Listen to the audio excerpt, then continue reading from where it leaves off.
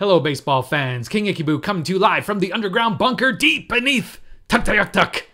And this is the University of Tuktoyaktuk because we are going to do some classroom instruction on a game that I just started playing a couple months ago called Scoreboard Baseball.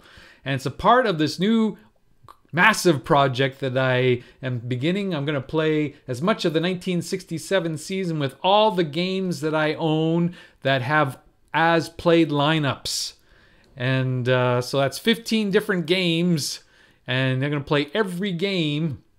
So, for instance, uh, here I was playing the Cleveland Kansas City game, and I've played Action PC, Diamond Mine, Digital Diamond, Fast Score, every day player, baseball, fall classic, etc. Inside pitch, National Pastime 3, National Pastime Next Generation Plus, Out of the Park, so on and so on. All the games I have playing this, and and the end, like I think I finished uh, New York and Washington.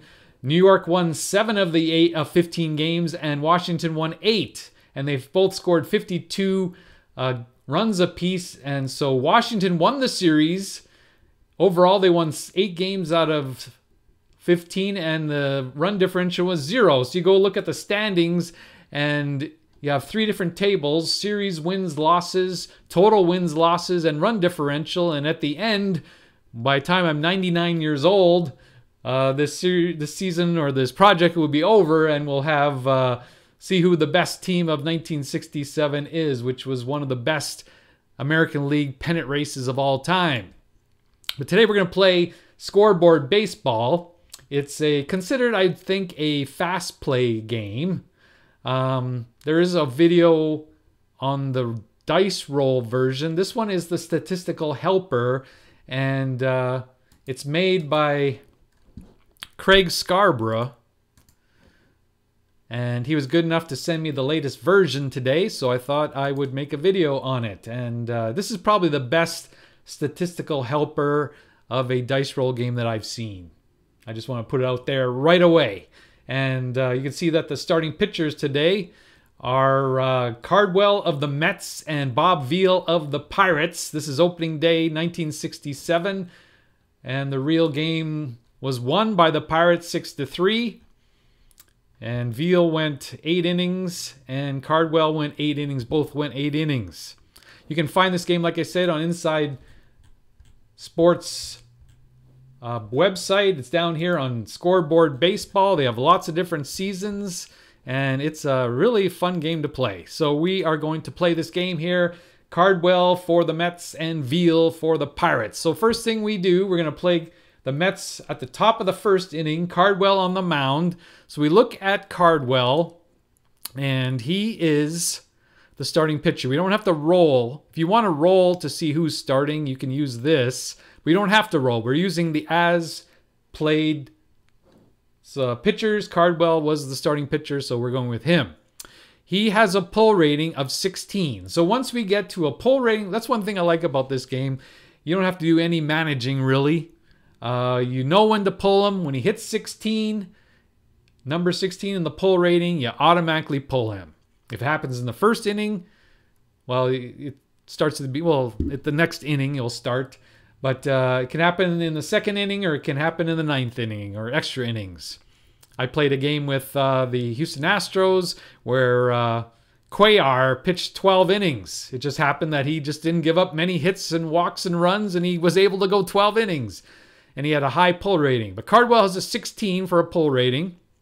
Now you can see here his he has one to three, which means that this roll, the unearned number roll, if runs are scored and this number is one to three, then the runs are unearned. Okay, that's what that means. The score number, we can see uh, the best pitchers like Seaver take runs away when the run number is the score number is one so the best pitchers have numbers in brackets, and the worst pitchers have numbers outside of brackets. And uh, we'll show you what this means in a little bit. But Cardwell's neutral. He is he's an average pitcher, so he has nothing in his score number. The run adjustment number, he can give up more runs than normal. We'll see what this means later, a little bit later. This is the hits number. He gives up hits from 1 to 4. And he strikes out batters from 1 to 10, and he walks batters from 1 to 6. And this over here is when we need a reliever. So we can see the hitters on top. Everything's on one sheet in this game. So we're going to look at Cardwell. He is, uh, we need, for now, we just need to, he's a score number of zero. And for Bob Veale, he also is a score number of zero. So we have two average pitchers on the mound today.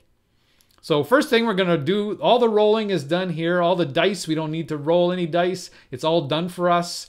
And all the dice are rolled with one click of the button. So the Pirates are up. We're going to see, roll first roll is to see who. Who is the guy, who's the batter of the inning, of the first inning. So we're going to roll and get to this now. So 41 is the roll. So we look under who, and you see that Maury Wills is the man of the first inning. So we don't have to worry about anybody else on the team. Maury Wills is the key batter of the first inning. And his score number is seven. Then the score number is seven. So we see here that Maury Wills had a score number of six. So six is less than seven. And therefore, the Pirates do not score in the first inning. If Roberto Clemente would have been the man of the inning, he has a score number of 10. So the score, he would have, we would have a Pirates runs if it was Clemente, but it's not Clemente. It's Wills who has a number of six. Now that's where these pitchers come in. We see Steve Blass is a 20. So normally 20, since 20 is higher than six, then Normally, the Pirates would not score, but if it's a 20, a pitcher like Steve Blass, it would become a score scoring inning because his number is 20. He gives up more runs than normal. Woody Fryman was really bad. He was 19 and 20. Billy O'Dell was even worse, 18 to 20. And just John Gelnar was 15 to 20. So he gave up a whole bunch of runs that that uh, inning. And if you look at the Pirates, of 1967 and look at Gelnar, he probably has a very high ERA of 8. So that's it just pays off. So Veal is average, probably the season average around 2.5 to 4, so that's why he was neutral. There's some reasons for these numbers. Anyway, so uh, we look at Will's we already determined that the score number is higher than his score number, so there's no run scored. So now we look at this. Where? 179. What does, just because the Pirates do not score doesn't mean that Maury Wills cannot get a hit this inning. So 179, you look under here, 179 is overshot everything. So Maury Wills does not get a hit at all. So one thing I learned about this helper is normally I the first time I played it, I'd bring up Maury Wills and I put zero for hits, kind of keep keeping track of who was the batter of the inning. Don't do that. Uh, maybe in this new version is fixed. I don't know, but I found out if you put the zero, if you got to put a guy here and you have zero hits, it crashes the helper. So I don't bother now if he Maury Wills does not get a hit. There's no point of putting him in the listing for the Pirates. We just leave it blank. But we do mark down Caldwell, Cardwell. He gave up, well, we have to determine if he gave up hits or not. So we know that Maury Wills didn't give up a hit or didn't get a hit. So now we see if the rest of the Pirates got a hit. And you look at the hit number, which is seven, and you look at Cardwell, and his hit number is one to four. So he does not give up a hit, not to Maury Wills or anyone else. He got no hits in the inning. And we already determined he gave up no runs. So we put a zero here. And of course, if he gave up no runs, none of them are earned runs. And did he walk anybody? Well, the walk number is also seven. It's always the same as the hit number. And you look at uh, Cardwell, seven is higher than his walk number, so he doesn't give up any walks either. And does he strike anybody out? The strikeout number is 19. Cardwell, his strikeouts go up to 10, so he doesn't strike out anybody either. So he has a 1 2 3 inning, but doesn't strike out anybody, doesn't walk anybody, doesn't give up any hits, and didn't give up any runs. So his pull number, when remember it gets up to 16, we have to pull him because he just gets one for pitching an inning. You get one for pitching an inning. You give up one for every hit that you give up. You give up for every run that you give up and every walk that you give up. Adds to your pull rating because so the best thing you want to do for a pitcher is to have a one, two, three inning with no walks, no hits, no runs, and then the pull number only goes up by one. So Cardwell has a very good inning. You see that the the statistical helper here automatically gives zero for the Pirates. And we go to the bottom of the uh, inning for the Mets. The Mets are now on the on the clock, if you want to say it. So Bob Veale's on the mound, and so we roll for the Mets. Who is the batter? 91. 91 is Cleon Jones. Cleon Jones has a score number of four. The score number here is 13. 13 is higher than 4, so the Mets do not score in the inning. So we can go here to Bob Veale. We know for a fact Bob Veale does not give up any runs in the first inning, and already the New York is auto-populated with a zero. So do, do, does Veale give up any hits? Well, the man of the inning was Cleon Jones. We look at this number, 111. We look at Cleon Jones, 111. Now it's under the home run number, but it's a question mark. So, of course, logic says, and we're still a society of logic, I hear, I hope. Logic says if no runs are scored in the inning, therefore, Cleon Jones did not get a home run. So, this number of home run, if this would have been a four for the score number, which is within Cleon Jones's score number, and you get 111, Cleon Jones's hit would be a home run in the inning. And then we look up here on runs scored to see how many runs were scored. But because it's question mark, no runs were scored. Therefore, Cleon Jones could not get a home run, so he does not give a hit, get, get a hit as well. So we don't auto put Cleon Jones here. He does not get a hit. Does Bob Veale give up a hit to somebody else? Bob Veale's hit number's four. Hits 13 is higher than four. No hits Walks 13. His walk number is a 10. It's higher. 13 is higher than 10. He does not give up any walks. 3 is the strikeout number. 3 is lower than 11. So Bob Veale does get a strikeout. How many strikeouts? If it's 12, oh, here's 12. So if it's 12, he would have struck out 3. If it was 8 to 11, he would have struck out 2. But the number is 3, so he strikes out one guy. One strikeout. He doesn't walk anybody because his walk number is higher than 10. So we put zero for walks, and his hit number is four. 13 is higher than four. He doesn't give up any hits. So he also has a one, two, three inning where one of the three outs was a strikeout. So his pull number is one. His pull number when we have to pull Bob Veale is 18. So we go to the top of the second. The Pirates are up. We roll for the Pirates. 36, it's once again Maury Wills. The score number is 17. 17 is higher than 6. So therefore, there's no runs scored in the second inning for the Pirates. We can put a zero by Cardwell. He did not give up any runs.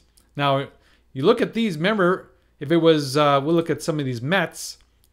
If it was Chuck Estrada on the mound and the score number is 17, his Score number is 1320, so there would be runs for Chuck Estrada. Thankfully, Chuck Estrada is not on the mound. It is Cardwell who has nothing here, so therefore, Cardwell does not contribute to the score number, so it's still no score for the Pirates. So we look at Maury Wills. Does he give get hit this inning? It's 109. 109 is overshot everything. He does once again Maury Wills does not get a hit. 17 is we look now at Cardwell. His hit number is 4. Hits are 17. 17 is higher than 4. He does not give up any hits in the second inning. Once again, he has a no hitter going. Does he give up any walks? 17. 17 is higher than 6. He does not walk anybody. He has a perfect game going. Does he strike out anybody? 14. Cardwell's strikeout numbers go up to 10. The number is 14 does not strike anybody out, and therefore no runs, no hits, no strikeouts for the Pittsburgh Pirates in the second inning. We go to the bottom the second. The Mets are up. Here's their roll 138. 138 is Eddie Charles. Now look at here. The score number is 1. So One is within his score number, so the Mets will score this inning. Now that's where these great pitchers like Tom Seaver for the Mets and uh, Al McBean for the Pirates. If Al McBean was on the mound for the Pirates, he would nullify this score number because he has a one in brackets. But it's Bob Veale who's blank, so he does not nullify the one. So the Mets indeed will score this inning. So we know the the batter is Eddie Charles. 139 is the number. Eddie Charles, we go 139. His home run number goes up to 108. So he overshoots the home run number. So what kind of hit does he get then? If he overshoots and has a run, he scores. We already determined he has scored. The Mets have scored. That means Eddie Charles gets a single. So Eddie Charles gets a single, and that's it. Now we we want to see how many runs does Eddie do, do the Mets get in this inning. That's where this number here comes runs seven. It's a single, and it's a seven. So we look here under this column for the Mets. We look under the single, and the number is seven. So the number of runs is one. Right now, the Mets have scored one run, but we have to look at Bob Veale. Bob Veale has a run adjustment number of plus one. So we go back here, and seven plus one is eight. Eight is still within the one runs. If it was 13, if the run number was 13, Bob Veale with his plus one would push it up to two. That's what that means. Remember that Cardwell's a plus three. So he would push an 11 in this case to the next, to two runs. But Veale is a plus one, so he takes that seven, plus one is eight. It's still within the one run row. So the Mets have scored one run. Veale has given up one run in the inning. Charles has driven in that run because he's the man of the inning. And it was not a double, it was not a triple, it was not a home run, it was not a stolen base. It was just a single and an RBI. So does Veale give up more than just the one hit? He gave up the one hit to Charles, we have to look at now, we have to look at Bob Veale. And the score, the hit number is one. So we see here, because it's one run, he automatically gives up one hit. It's to Charles. And then this also another run is one, but here he gives up one is two hits. So Bob Veale gives up three hits in the inning and one run. It is earned. We don't have to put earn. It automatically puts earned run so we don't have to enter it in here. If it makes you feel better, we'll put earn runs one. Walks is one. So we look at the walk column. Walk is one to eight. Two is nine to ten. It is one. So he gives up a walk as well. Not a very good inning. Oh, we, we this was I went in the wrong column. So this was zero, zero, zero, zero, and zero, wasn't it? Or do you have one strikeout? Yeah, have one strikeout. You have to do in the second one. There we go. Three, one, one, one. And does he strike out anybody out? Five. Bob Veale, five. And strikeout is a strikeout. He's had a strikeout in the inning. So now you notice the score is 1 nothing Mets. They have three hits. One was Charles. Two were other guys on the Mets. And this will come later. We have to determine who those other hits are. It says hits needed two. So well, that comes at the end of the game. So now you notice that Veale gives up a run, he gave up three hits and a walk. So now his pull number is seven. Remember that his pull number is 18, so he had a bad inning there, and that contributed six to his pull rating, which is now 18. He's still in the game because this pull rating is not 18, but it went up significantly in the second inning, and the Mets lead one to nothing. So now we go to the third inning, and it's for the Pirates. Their role is 194. So you look at 194, and it's way down here Pittsburgh pitchers. The pitchers are the key batters. So that is Bob Veale. Bob Veale is the is the key batter of the inning. 74 74 is higher than 30, so the pitchers do not get a hit. Nine is higher than the score number of the Pittsburgh pitchers. So once again, no hit, no runs for the Pirates. They give up no runs. The pitchers don't give a hit, up a hit. Does anybody else get a hit? We go to Cardwell. Cardwell's hit number is four, so nine is higher than four, so nobody gets a hit for the Pirates. Their walk number is nine. His walk number is six, so he doesn't walk anybody. And his strikeout number is two. Cardwell strikes out a guy because it's one to eight for one strikeout. So he strikes out one guy. And his pull number, he has three perfect innings, so his pull number is three. Cardwell's pitching very well through three innings, and Pittsburgh has nothing so far. So we go to the bottom of the third. The Mets roll is 136. 136 once again is Eddie Charles. His score number is 9. 9 is higher than 4. No runs are scored in this inning. We can already put this down for Veale. Does not give up any runs. 197 is, is Eddie Charles's hit number, and that overshoots 108. So he does not give up a hit, or does not get a hit. And we now we go to Bob Veale. Bob Veale's hit number is four. The hit number is nine. So Bob Veale does not give up any hits in the inning. He does not give up any runs. The walk number is nine. Bob Veale has a gives up a lot of walks. So he walked two guys in the inning because it's nine is under the column nine to ten is two walks. So he walked two guys and six. Bob Veale has a strikeout. So he has three strikeouts and three walks so far through three innings. And the Mets does not give up a run that inning, so it's still 1 0 Mets. We go to the top of the fourth. Here's the roll for the fourth inning 127. 127 is Don Clendenon. Hope you follow that because it's 127. If it's 10 to 30, it'd be Mazeroski, so on so on. 127 is Don Clendenon. And he's unlucky because his score number is five and the roll is or score number is four and the, and the score number is five. So the Pirates again do not score in the inning because because Don Clendenon's score number is four and the roll was five. Does he get a hit? 115, Clendenon. It would be a home run, but again, because he did not score, it takes a home run away. And Clendenon does not give up or get a hit. So now we look and see if Cardwell gives up a hit. One to four is his hit number. The hit number is five. He does not give up a hit. He's still pitching a no hitter. Five walks. So no longer does he give up a, have a perfect game because the walk number is five and Cardwell one to five is a walk. So he walk. He allowed his first base runner a walk. Nine is strikeout number, and he struck out two guys in the inning because the strikeout Nine is two strikeouts, so he has three strikeouts, one walk, no hits, no runs. His pull number went up two, one for the inning and one for the walk, so his pull number is five. Veale's is 10 already.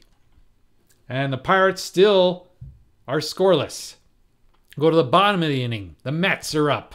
The roll is 178. 178 is Amos Otis. Amos Otis you look at this score number, your heart jumps because that's very good.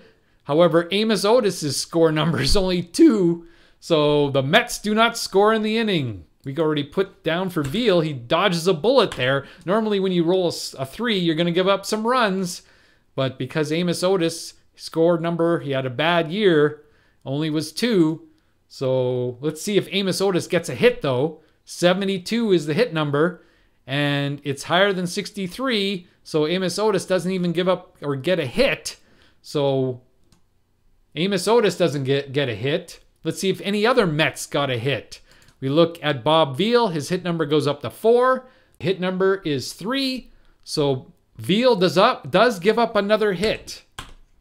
He doesn't give up a run, however. Does he give up a walk? Walk number is three. Bob Veale.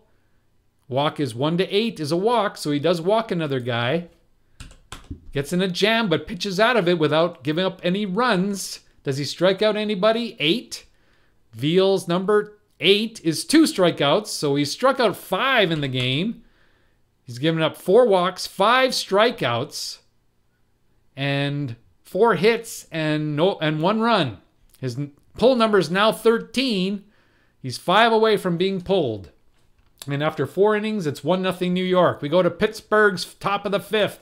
Here's the roll 107. It's Willie Stargell, who has a high score number of, of seven. Unfortunately for the Pirates, their score number roll is 12. They do not score. And Cardwell still is pitching a shutout. Does Willie Stargell have a hit? 149. 149 is the, in the home run question mark, but because no runs were scored, he does not have a home run. Willie Stargell does not have a hit. The hit number is 12. We already know what's happening here because it only goes up to 1 to 4. So one Cardwell is still pitching a no-hitter through 5.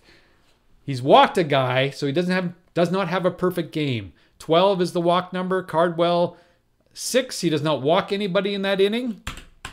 Strikeouts 15. Cardwell's strikeouts go up to 10. So no strikeouts. He's not striking a lot of guys out, but he has not given up a hit through five innings, through four and a half. One nothing Mets. Bottom of the fifth. Who is the man of the inning?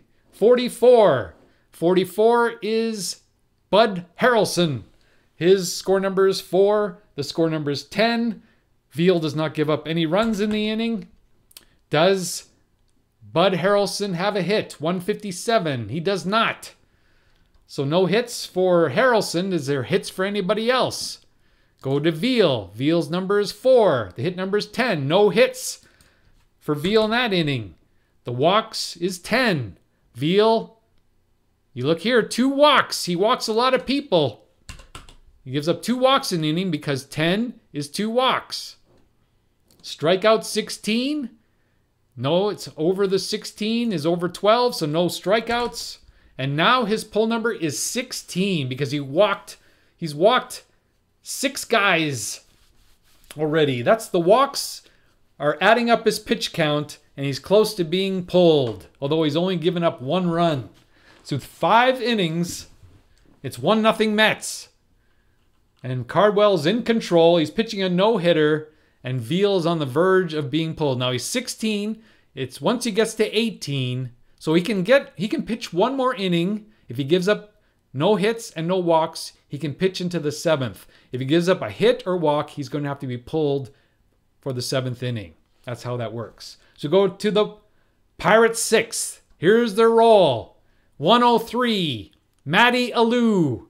Fifth, he's very good. He's seven, but the score number is 15. So the Pirates don't score again. Shutout is intact. How about the no hitter? 144. Matty Alou is overshot. He does not get a hit. 15, we already know this. Cardwell is only go up to four. He's still pitching a no hitter in the sixth inning. How about the walks? 15. Cardwell's walks go up to six. He has not walked a guy in this inning. Strikeouts, 19. Cardwell's go up to 10. No strikeouts. He's not striking. He's, bearing, he's getting the ball in play. He's letting his fielders do the work for him. He has a no hitter through six innings and a shutout, although he's walked a guy and he struck out three. Through five and a half, Pirates don't have a hit. The Mets lead 1 0. We go to the bottom of the sixth. This will determine if, if Bob Veale gets another inning or not. He has one inning guaranteed, but does he have another inning? The most he can pitch is seven. Here's the roll 39. 39 for the Mets is once again Buddy Harrelson. The score number is 19, so they don't score. Veale is getting out of jams, not giving up many runs, only one. Does he give up a hit to Bob to Buddy Harrelson? Look at this, 47. 47 is under the double. So we add Buddy Harrelson here. Buddy Harrelson has a hit. Not 41 hits, one hit. He does not have a run because the score number is 19, but he has a double. So Veale gives up another hit. So this is the last inning for Veale because a hit, you can see here now the pull number is 18. We automatically take him out next inning. He's reached his pull number, even though he's only given up one run. How about walks? 19 is higher than his uh, 10, so he did not walk anybody. And strikeouts 18, that's above 12, so he does not strike anybody out. So Bob Veale's line six innings, five hits, six walks, and five strikeouts. And that's it for Bob Veale. Now, the way I play it, I don't know if it's in the rules, but if you have to pull Bob Veale, if we roll the Pittsburgh pitchers, then the Pirates get a re-roll. Okay? Because you would take him out for a pinch hitter. That's the way it doesn't make sense that you would if you roll the Pittsburgh pitchers that they would be the the, the key batters of the inning because you'd pull them for a pinch hitter because you're pulling Veale. That's the way I play it. Let's see if that I doubt if that'll come in effect, but it might. So we're gonna roll for the Pirates. 72. 72 is Gene Alley. The score number is 16, so the shutout is intact for Cardwell. 152. Uh, Gene Alley. Yep, the, he doesn't give up. He doesn't get a hit. And we know that the hit number 16, Cardwell's only goes up to four. So the no hitter is still intact for Don Cardwell. And I think Don Cardwell had a new no hitter in real life. I am pretty sure. Wasn't with the Cubs. Let's see if I'm right. My, you know, I wasn't live then, but somehow my memory. He was traded to the Cubs, and in his second game, no, his first game with the Cubs, he pitched no hitter. First no hitter ever thrown by a pitcher in his first start with a new team. So my memory is correct. They say to listen to lots of music, it it staves off Alzheimer's. So I recommend that. Listen to lots of music. I have listened to lots of music. I love music, although I'm still a ways, hopefully, from Alzheimer's. But that proved there it hasn't set in yet because I remembered, yes, Don called Cardwell did pitch a no hitter in real life, and he's got one going here for the Mets in 1967. So uh, we're through seven. 16 is higher than his four. So he does not give up a hit in the seventh. The walk number is 16. He does not walk anybody. And the strikeout number is three. So he does strike out a guy. He strikes out number four for Cardwell. His pull number is only eight. Remember, it's 16. So he is pitching a masterful game, six and a half innings here on opening day. It's still 1 0 Mets. Bob Veale is now out of the game. He's reached his pull number of 18, 18 here, 18 here. So what do we do? We're going to roll this purple number is going to determine so you look at the situation. If it's a save situation, you look at this column. If it's extra innings, you look at this column. If you're ahead or tied in the eighth inning or ninth inning, you look at this column.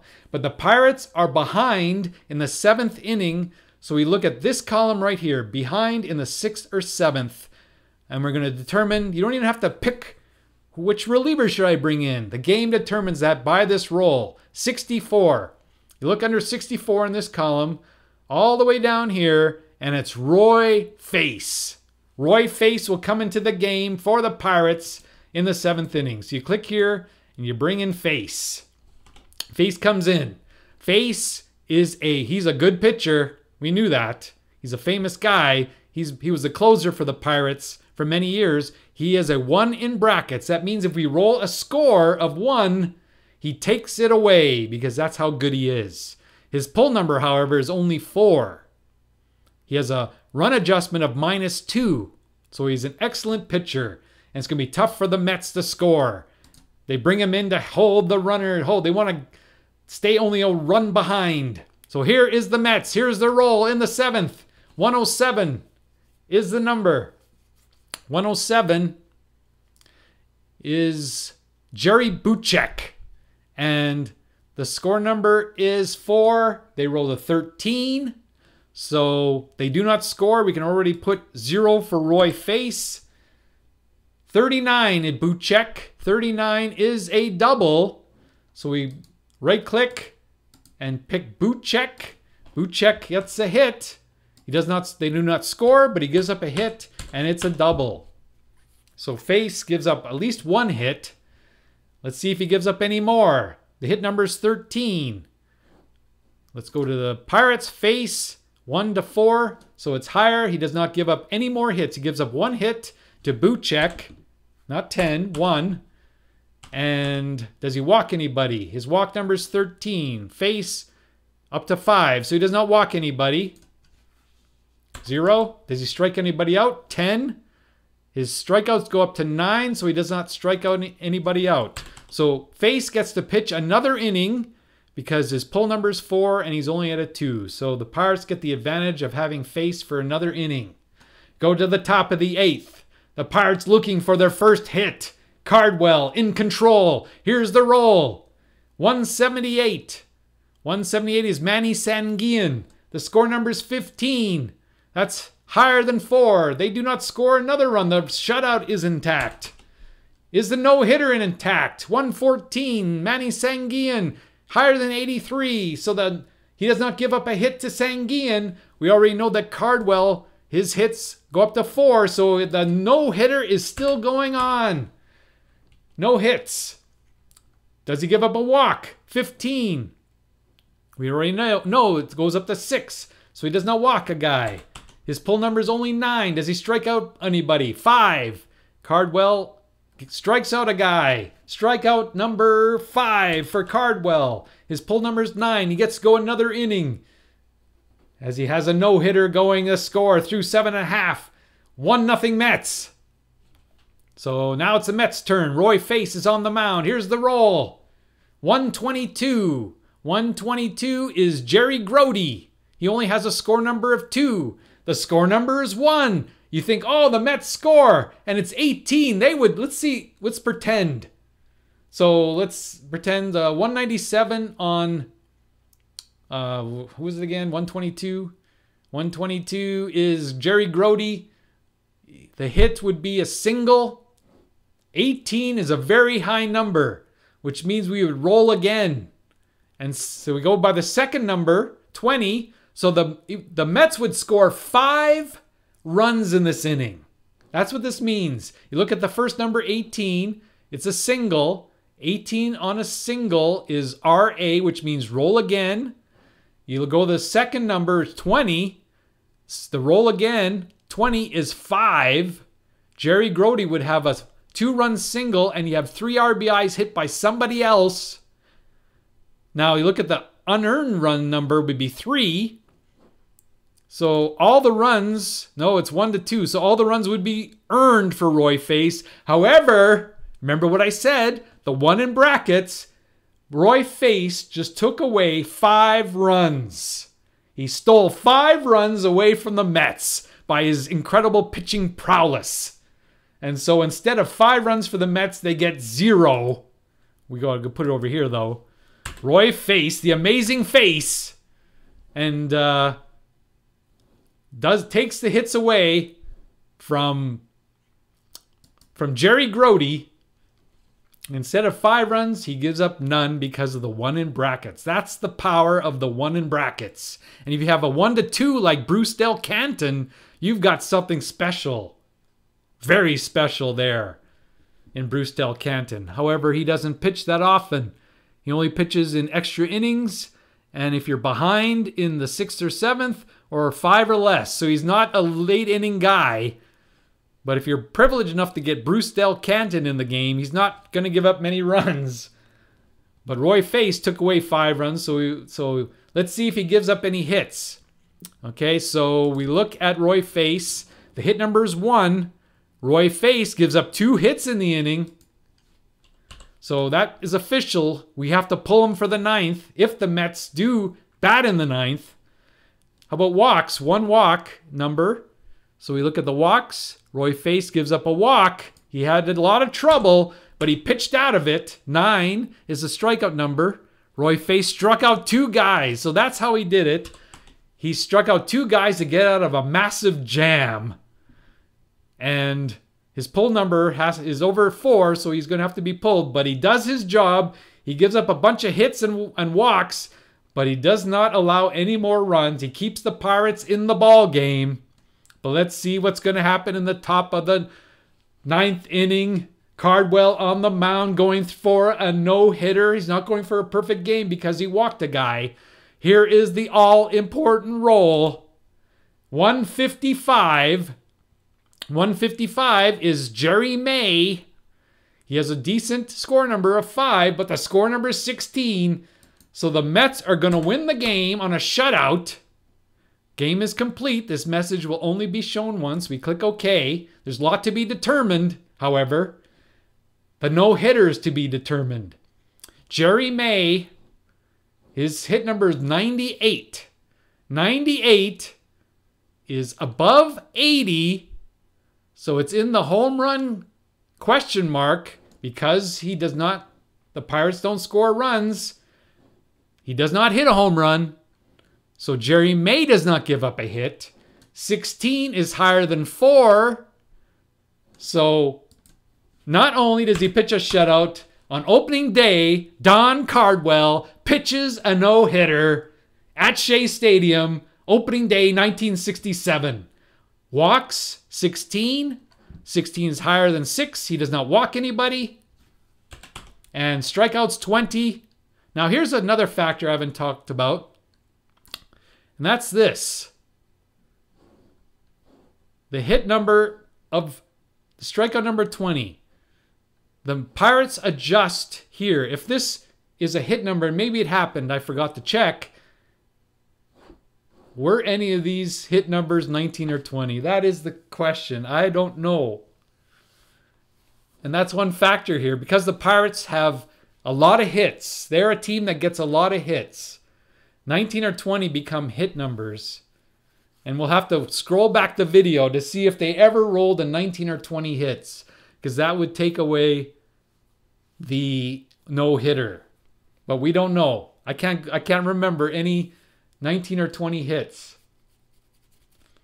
We'll have to go back. i have to go back and watch this video. But the strikeouts is blank. So 20 they don't get a strikeout because this adjusts it team wide. Opposition team.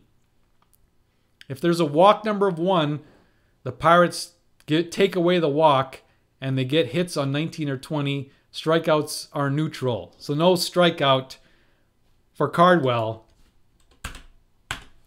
And what I'll do, I mean, we got to play it as is. It's a no hitter. We kick the box score, no hitter on opening day. Close it. Okay, now we have to determine these five hits. The Mets of or the Pirates have no hits, so there's nobody to determine. But we have five hits to determine for the Mets. So we do no runs. The runs are all, the one run is accounted for. It was Eddie Charles. He got the RBI. We don't have to worry about RBIs, but five hits have to be determined. So what we do is we roll who five times to see who got these hits. First one is 153. 153 is Eddie Charles. So Charles gets his second hit of the game. Good day for Eddie Charles. Second roll, 97. 97 is Ron Swoboda. We go here, click Swoboda, and he gets one of the hits. So we have three more to determine. Roll again, 191. 191 is Al Luplow. Al Luplow gets a hit on opening day at Shea Stadium. Two more to determine. Here's the roll 157. 157 is Bob Johnson. Bob Johnson gets a hit. Oop, not Hiller, Bob Johnson. There we go. One hit for Bob Johnson and one more. 151. 151 is Eddie Charles. He has three hits on opening day. Okay, now we save statistics. And now we can look at the box score. Here's the box score. The Pirates have no hits. And I'm going to look back at the video and determine if we rolled 19 or 20 anytime for the hit number.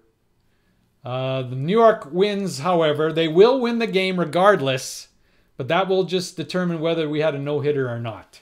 The actual time was 30 minutes. I have gotten it down, if I don't have to explain things, to 15. Hopefully, I'll get it down even more as time goes on and get more familiar with this game. The Mets have eight hits in the game, one run, scored by, driven in by Eddie Charles in the second inning. And on opening day, one to nothing Mets. Tentatively a no hitter, but I have to look back at the video. Hope that was a little bit instructive. I definitely recommend this game. It's a lot of fun and it keeps amazing statistics. Let me show you that. Go here, not clear team. Oh, I, here, statistics. And we'll look at, see, well, so far I've played, uh, yeah, I think I might have screwed up something here by doing that. Hitting the clearest teams thing. I think I've hit next game. I think it'll come up. Okay, next game. Here we go. Now will you let me... Here we go. Okay. So we played California, Baltimore, Cleveland, and New York. Won their first games against Detroit, Minnesota, Kansas City, Washington. The Cubs, Reds, Astros, and Mets won their first game. And Braves, Dodgers, Phillies, and Pirates lost.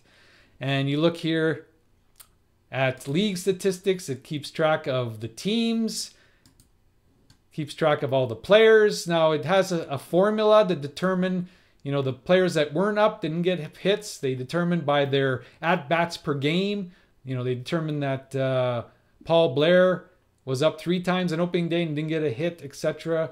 Uh, you know, all the statistics are kept. League leaders. I mean, it's amazing this uh, statistical helper that Mr. Scarborough has come up with, and also newspaper type of uh, report.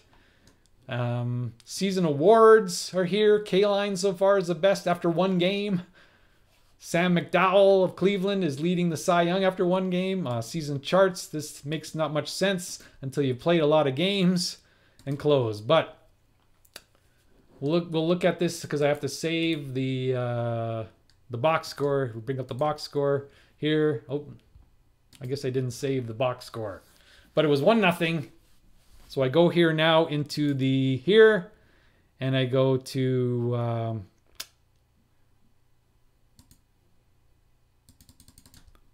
Mets and you go to scoreboard SB and they win one to nothing. And you go to Pirates, they lose in the scoreboard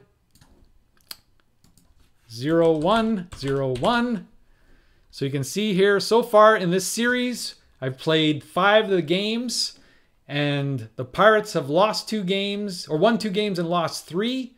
They both scored 23 runs, and so far they're losing. Oh, so it keeps track of the, who wins the series overall, total games, and total runs. And at the end, we see who wins every. So we go to the standings, and we'll see who you know who are the best teams See, so far the Atlanta has won nine and lost six games.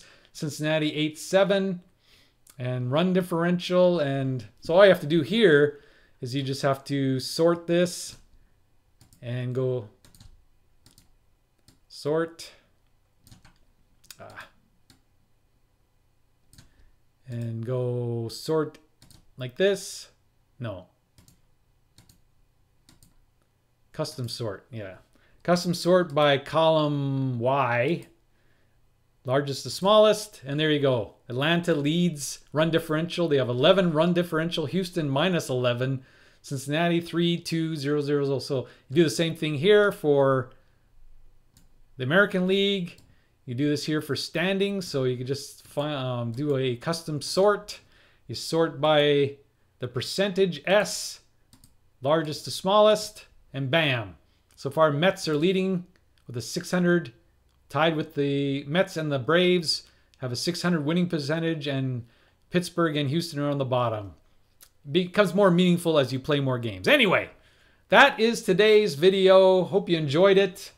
Scoreboard Baseball, I recommend it highly. This is King Boo signing off. Goodbye, everybody.